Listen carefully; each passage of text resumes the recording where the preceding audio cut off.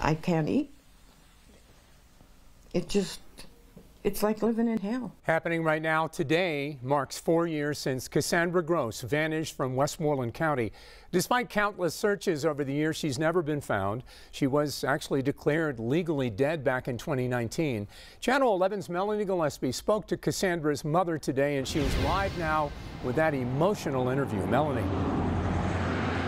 Well, David, the area surrounding Unity Cemetery here is a spot that both state police and Cassandra's mom have searched time and time again.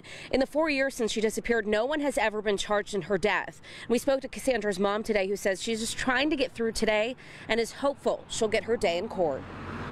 It seems like yesterday, but it's hell living through it. 1,460 days. It's every day from the time you get up until the time you go to bed.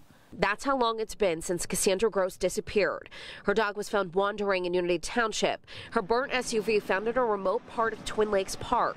But Cassandra was never found. A judge declared her legally dead from a homicide. The evidence is there. All they're going to get. So, what is the holdup? Still, Kathy waits, sifting through every article, every piece of evidence she's collected over the years. There's something there somewhere that will connect the whole thing. But if I can find the missing piece to the puzzle, then it, it'll just make everything go together. When a new district attorney took office, Kathy was hopeful her daughter's case would finally get the justice she's been longing for. Who says she's a priority, but she's not showing me that she is a priority. A priority means you do it. But still, no one's been charged in Cassandra's death. It's the feds. They're waiting for the feds. The feds tell me they can file the charges at any time. It has nothing to do with our case. So why aren't they doing it?